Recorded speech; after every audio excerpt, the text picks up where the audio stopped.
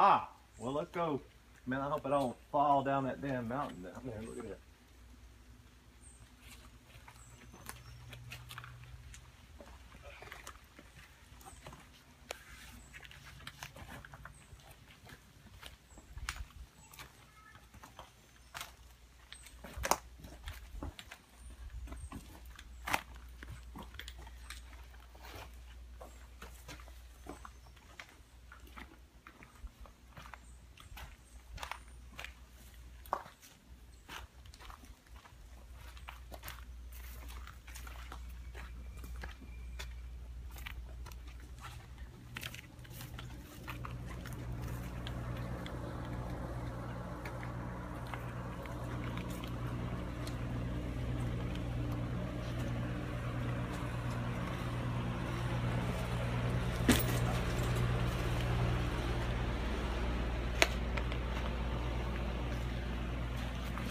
If you had to set a new unit here, you either come down here or you come up that hill there.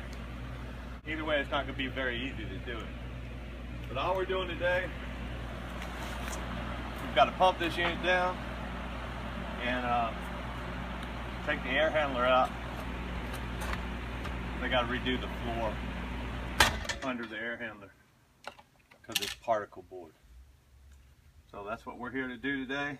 I just wanted to show y'all why I use cap blocks on some of my jobs. Because there ain't no way you'd be able to get this thing straight.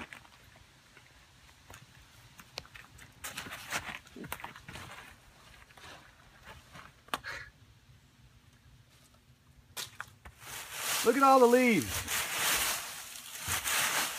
Now, I'm gonna open this thing up and I hope to God I don't find any snakes or anything to that nature.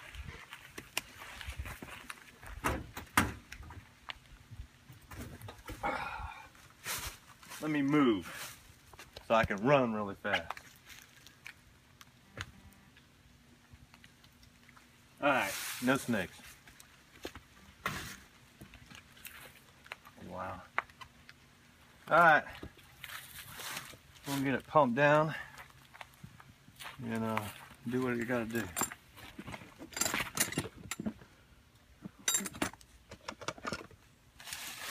I hate snakes.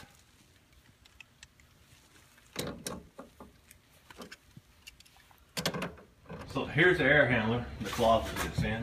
See it's all particle board. So we're gonna take the air handler out. Take the ductwork out. Let them rebuild the floor. There's actual um, regular real wood subfloor under this particle board, so um, uh, you know, just kind of is what it is. But we're going to take it out and, and uh, go on to the next job. Come back and replace it later. It's not going to be fun either.